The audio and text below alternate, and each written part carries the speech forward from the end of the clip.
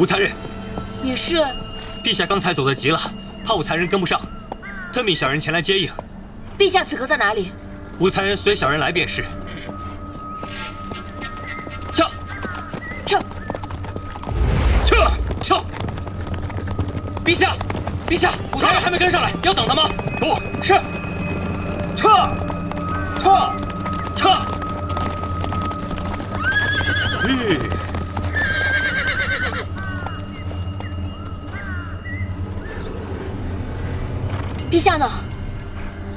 切莫心急，陛下很快便到。刚才在围猎时，为什么一直没有见过你？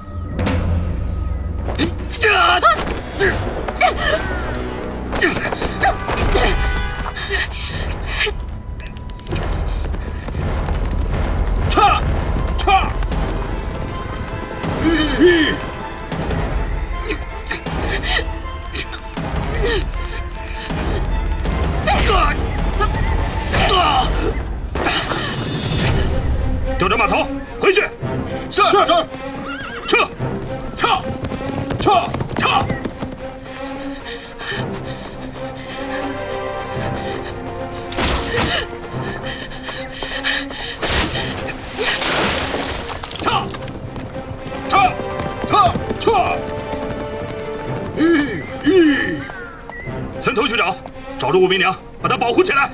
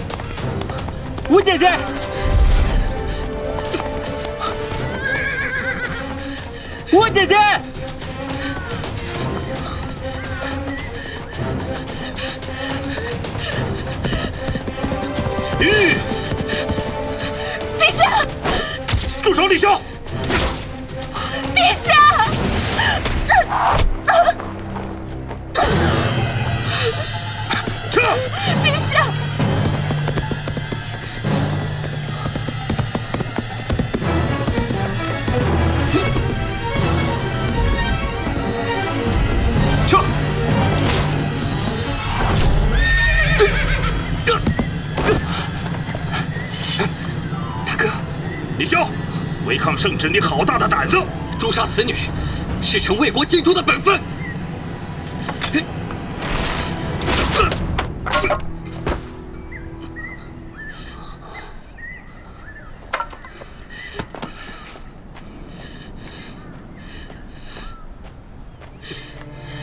李潇，谁指使你这么做的？臣擅作主张，自当以死谢罪。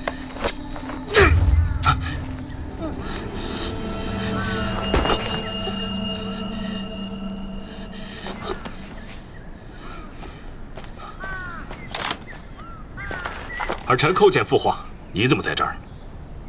这两日，儿臣禁足反思，深悔自己犯下的荒唐行为，请求父皇原谅，特来负荆请罪。没想到，方才多亏了你，做得很好。谢父皇。儿臣四处查看一下，看是否有其他党羽。去吧。是。媚娘，来。朕真怕从此再也见不着你了。陛下，还好有惊无险，结果……媚娘，媚娘。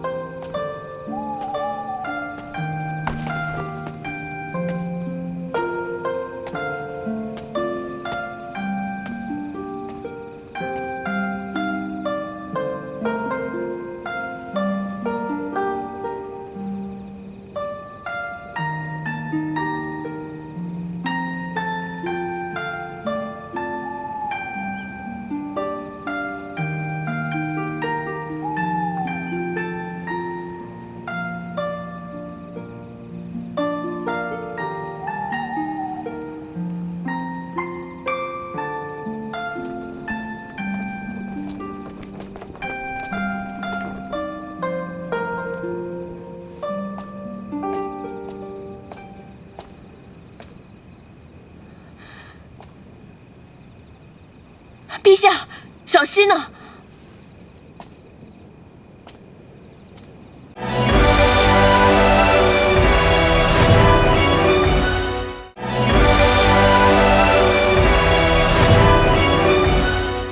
陛下，小溪呢？醒了？伤口还疼吗？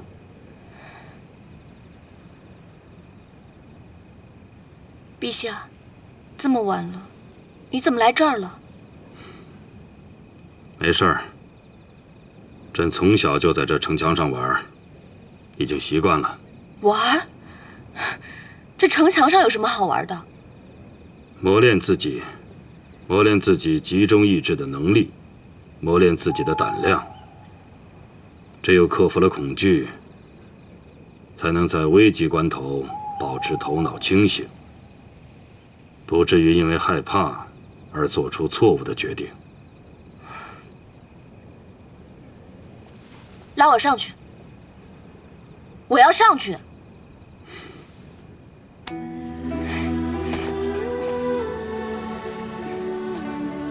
坐。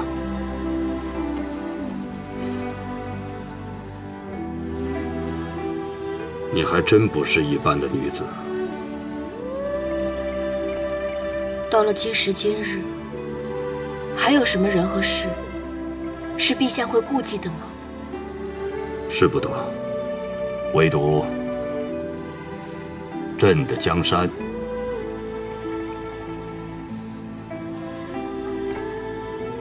这是根本，不容有失。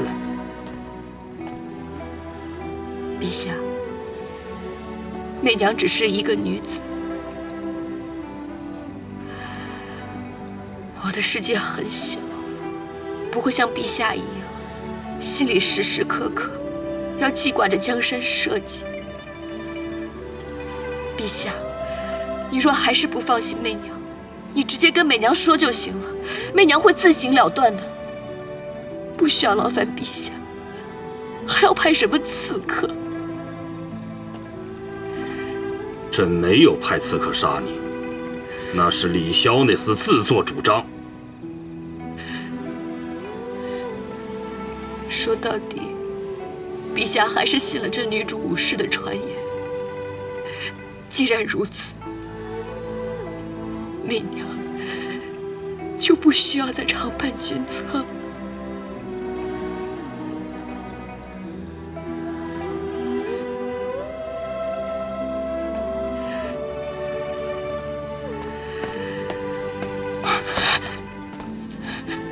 你要干什么？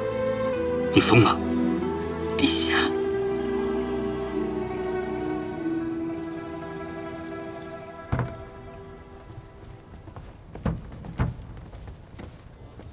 陛下，大喜事啊！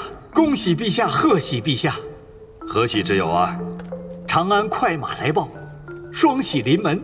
这第一喜来自前方，侯君集大将军已率大军冲出了西域沙海，自碛口一路大破高昌军队。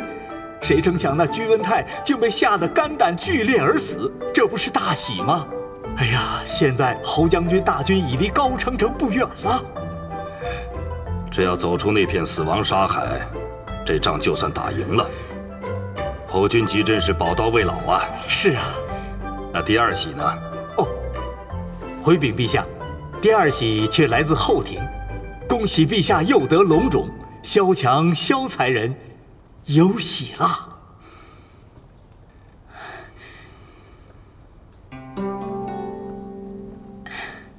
媚娘，恭喜陛下。嗯，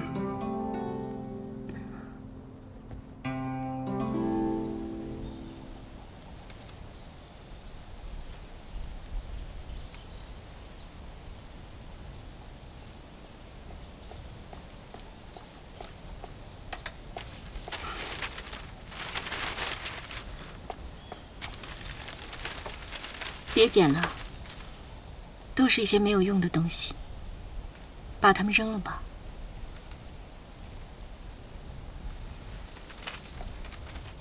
陛下呢？他回宫了吗？人在哪儿？回禀婕妤，陛下一回来便赶赴乾祥宫去探望萧才人了。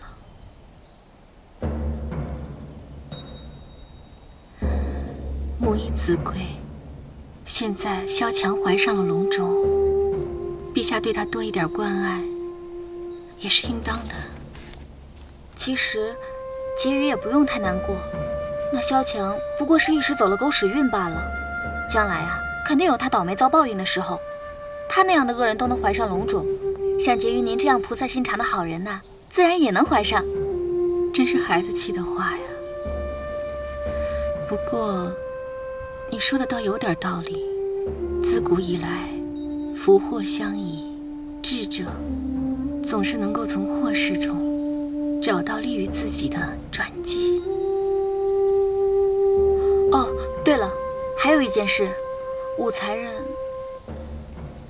媚娘，媚娘她怎么了？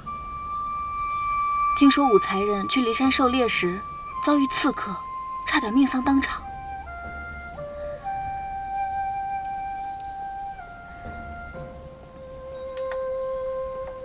你快去膳房准备一些酒水，随我到清宁宫去。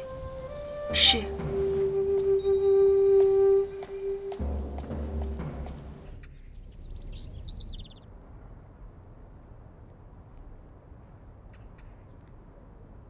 都好几个月了，才来禀报。韦妃，你就一点不知道吗？你是干什么的？还有你们，都是干什么的？请陛下下罪。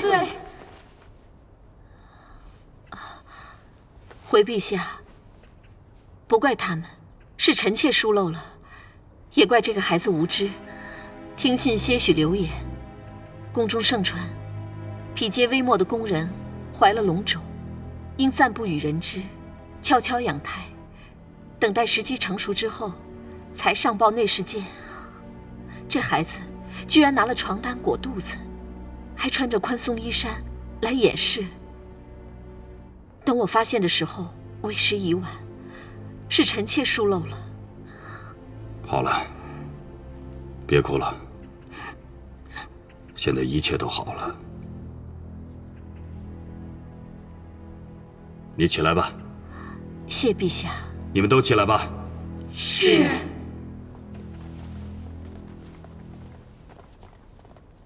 回陛下娘娘。萧才人受孕已有四月，但是胎气不稳呐。才人心火过旺，却又阴质太虚，这一寒一热，对养胎不利呀。他为这孩子受了不少罪，一定要保住。以微臣之见，才人应减少走动，需卧床休养，更不可过喜过悲。伤了元气，这是其一；其二，应以当归芍药散调理阴气虚滞之症，以补固温清之法，逐月安胎。这么严重，不能下地？我怎么什么感觉都没有？周太医，这阴质太虚，会不会是因为？朕酒后使他受孕所致。敢问才人那日是否也饮酒了？嗯，这就是了。才人体质本来虚弱，又在大寒节气里受孕，导致胎床受损呐。啊，以臣妾之见，强儿，你就先不要挪动了，在本宫的西殿好好养胎。等龙嗣瓜熟蒂落之后，再做安排。陛下，你看这样可好？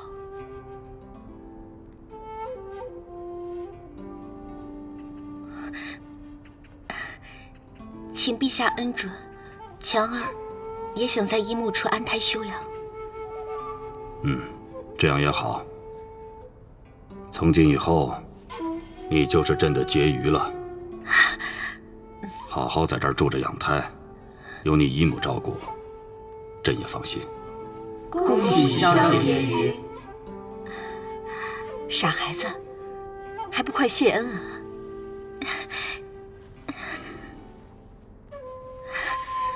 臣妾谢陛下恩宠。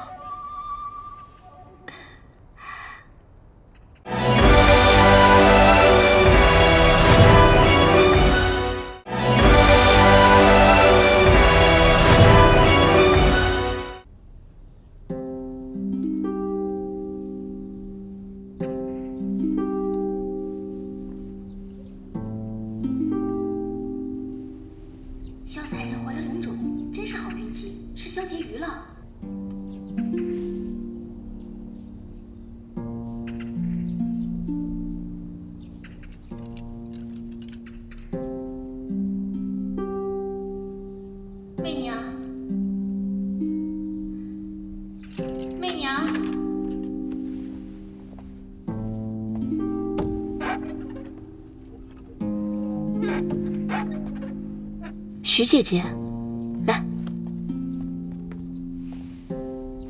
你怎么来了？不知你今日是否有兴致跟我小酌一杯？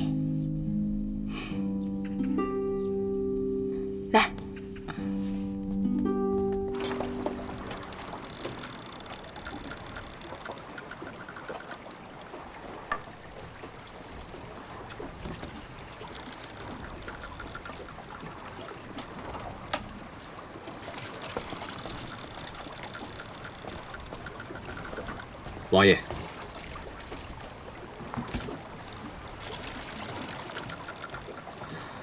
您找我。本王期待已久的一场热闹，没想到居然演变成如此局面。我那个太子哥哥也真是的，为什么不听父皇的话，好好待在东宫，竟然一个人去了骊山？去就去了，本以为他只会领到父皇的一顿责罚而已，但是不曾想。却让他误打误撞救了武媚娘，还让他在父皇面前立下了一功。殿下息怒，让本王如何息怒啊？那个武媚娘是死是活我不管，但是，我真没想到那个太子哥哥怎么会如此揣度圣意。他吃了什么神药了？最可怕的是，不但武媚娘安然无恙，这太子还因此女而受益。这二人。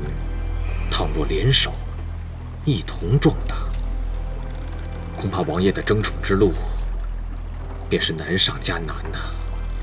难上加难，难上加难，我怎么会不知道难上加难呢？赶紧给本王出主意呀！是王爷。依微臣看，那武媚娘倒是不足为惧。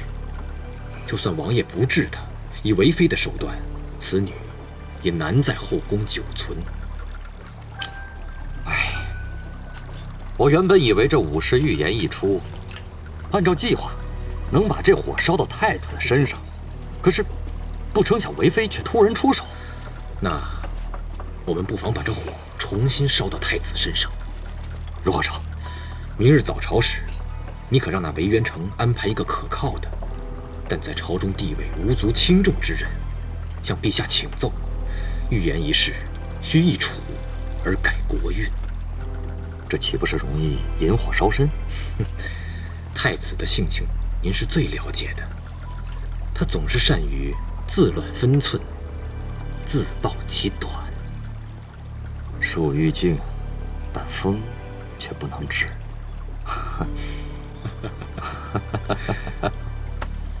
请。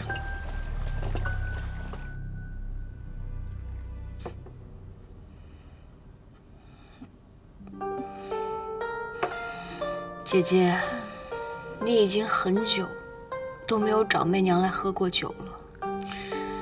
今日媚娘心里真是高兴。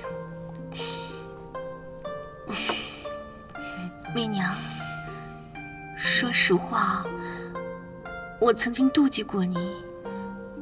但我真没有想到，那日为陛下献舞的时候，他会宣你前来。别说什么对不起。我知道，姐姐绝不是有意要伤害我。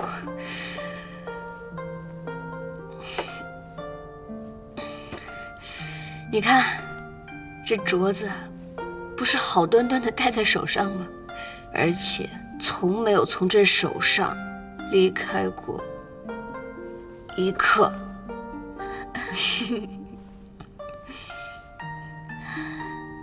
这些日子以来，我真的是寝食难安。若非得知你在骊山遇了险，我还真是无颜前来见你。你肯原谅我，真是太好了。姐姐，我记得刚刚进宫的时候，我曾经想着，这宫里就应该是一个姹紫嫣红的大花园。陛下呀，可以在不同的时节、不同的心境里面，选择不同的红肥绿瘦。那样才是最好的嘛。可是现在想一想，那个时候真的是天真的可笑啊！来，为我们初入宫时的天真干一杯！来，今日晚上没有陛下，只有我们姐妹所有的情谊，来。干这一杯，干这一杯。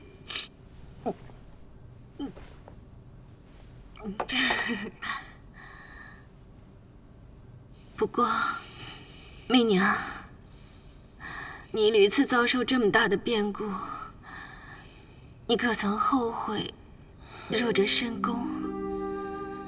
可曾后悔爱上陛下？从不后悔，姐姐。我记得还小的时候，也曾经有一个人让我很是心仪，甚至那个时候我傻的把祖传的玉佩拿去换了一个他最喜欢的狼牙扳指。哼，那个时候。我们两家是世交，而且他们家还向我们家提了亲。若不是后来他卷入了李孝成反叛一案，说不定我还真的就嫁给他了呢。那媚娘，这个人叫什么名字啊？他的名字叫李牧。嗯，李牧，李牧。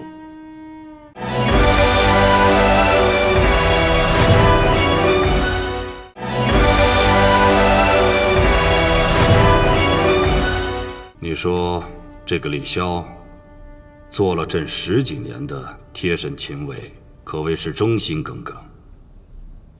这次为什么突然擅作主张，要杀了媚娘呢？陛下，您不是也没有兑现三个月后杀了武才人的承诺吗？朕说的是三个月后结束此事，从未说过要杀他。陛下，结束和杀，从字面上很难区分开来，所以李潇曲解了陛下的旨意，也就不足为奇了。福晋，照你这么说，便是承认你指使李潇了。陛下，微臣不敢，不敢。伏击呀，伏击！咱们，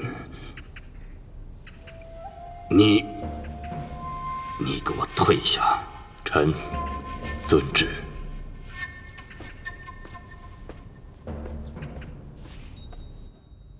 媚娘，你说说，陛下是否会听信那武士的传言，降罪于你呢？姐姐，若是在以前，我肯定告诉姐姐，陛下绝对不会。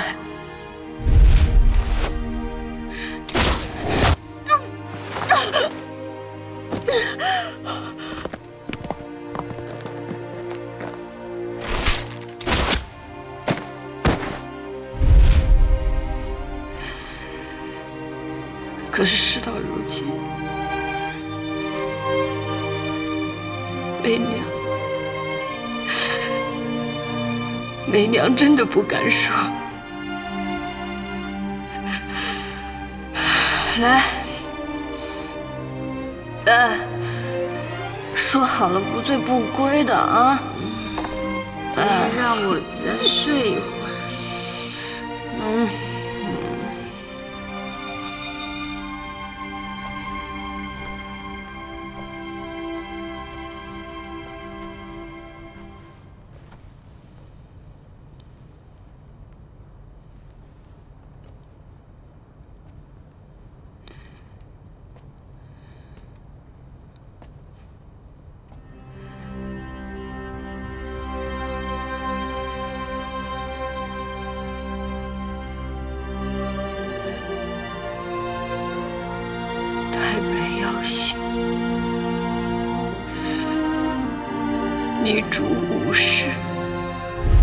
可以信你一次，护你两次。可是如果有一天事情发展到女主武士的预言会牵扯到大唐的安危，而你是最大的嫌疑者，到时候江山美人，你觉得他会选择什么？陛下，我不会再让你为难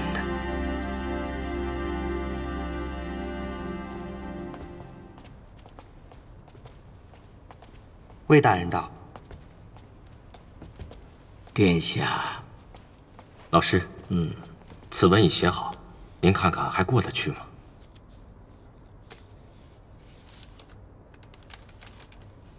好，这篇自荐书足以证明殿下悔过的诚意了。明日上朝之时，就把它呈与陛下吧。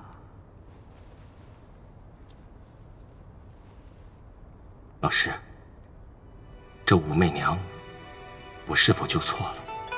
殿下安心，老臣向来以为，人的命运掌握在人自己的手里，与天无关。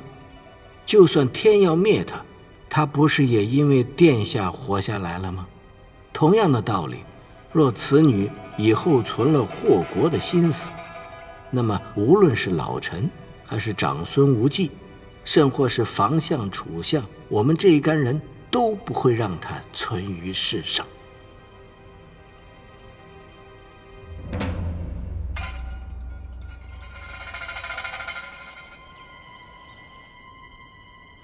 今日众爱卿还有别事要议吗？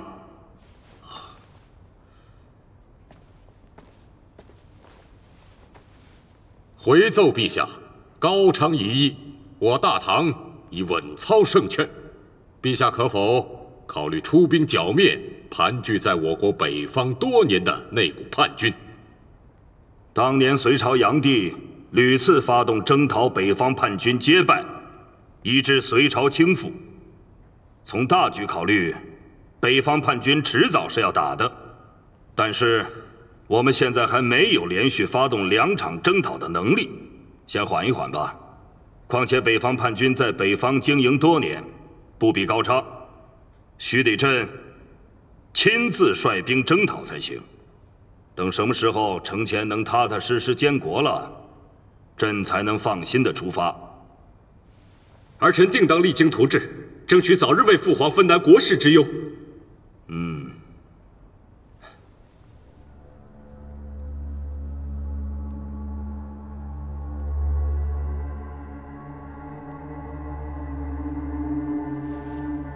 启禀陛下，微臣有奏。张元济，你有何事要奏啊？近日因预言一事，滋扰着整个大唐。使得举国上下人心惶惶，加上钦天监李侍郎一夕暴毙，女主武氏更是模糊所指，才使得朝中以及后庭徒添了诸多的烦恼和猜忌，实乃微臣所不愿见的。陛下，微臣有一法，可使其预言彻底终结。哦，赵元济，你有何法呀？说来听听。谢陛下。臣以为，国之根本乃为君者，而非造祸者。若是此预言果真能使唐三代而亡，那是不是因为大唐帝国的储君平庸其身而昏聩无能啊？所以，恳请陛下，不妨易楚而改国运，彻底击溃此不祥之预言的根基。大胆张元济，你一个小小的一侍郎，竟敢无端的弹劾太子！你可知道，你刚才的话，小则是以下犯上，重则是形同谋逆。来人呐！把张元济拖下去，打入死牢。陛下有旨，将张元济打入死牢。陛下，陛下，陛下，微臣对陛下、对大唐的忠心日月可见。陛下，臣忠心可见啊！陛下息怒。陛下，此僚口出狂言，玷污太子。实属大逆不道，理应即刻诛杀。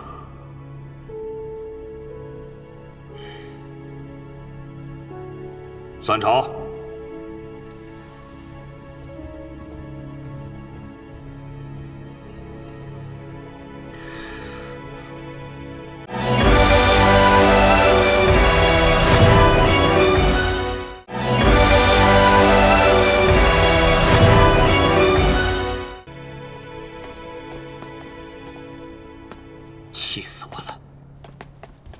我了！气死我了！张元济该死！殿下，下去。殿下息怒，这时我还喝什么药？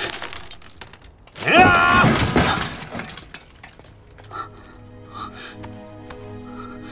殿下，你手破了。殿下，让臣妾看看伤到哪儿了。我没事。唐三代而亡，陈曦，你说，本宫是否真的昏聩无能，毫无治国之才？也罢，你们都是东宫的人，怎么样都说我好。只恐在父皇面前，我已经是扶不上墙的烂泥了。你还记得此预言刚出时，你是怎么劝我的吗？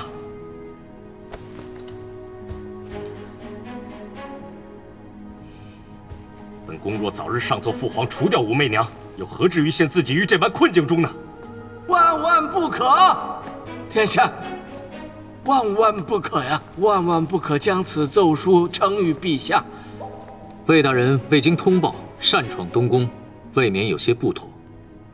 既然魏大人跟殿下有要事要商议，臣妾便与无关人等退下吧。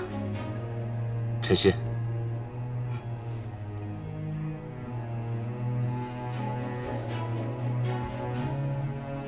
嗯，太子妃请留步。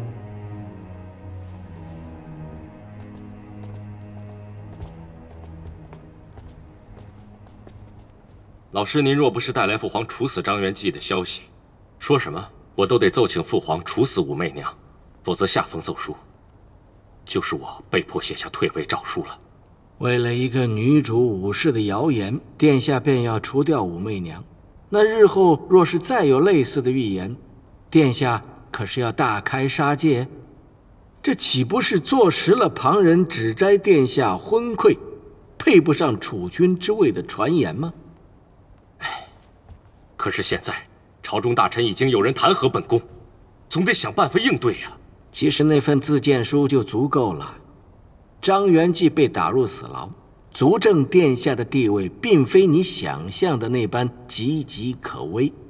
武媚娘到现在还活着，更证明陛下对此女有多么在乎。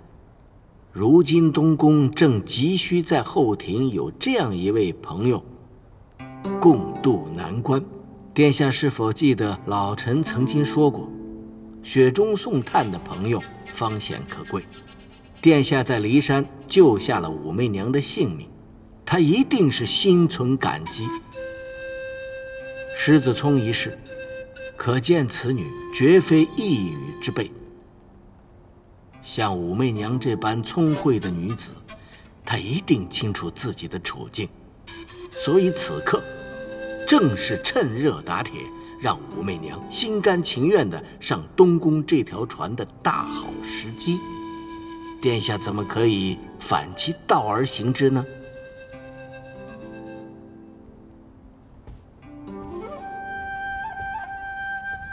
老师言下之意是，我需让武媚娘明白，本宫不会为了保全自己而推她去做挡箭牌。是，要让武媚娘明白，殿下与他是同仇敌忾，只有保住了殿下，同时保住他自己，才算破了这个预言。殿下想一想，就算武媚娘死了以后，针对殿下的谣言和弹劾，就会停下来了吗？不会的。本宫明白。本宫会重写一份自荐书，上奏父皇。可是老师您也说过，你我的身份，并不方便接近后宫女子啊。或许臣妾可以帮得上忙。嗯。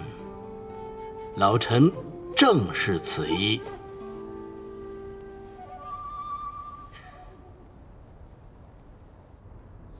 张元济招了没有？是不是魏元成指使的？此人倒是个硬骨头，虽然用了很多刑，但他就是不肯招供。那就继续审问，继续上刑。是。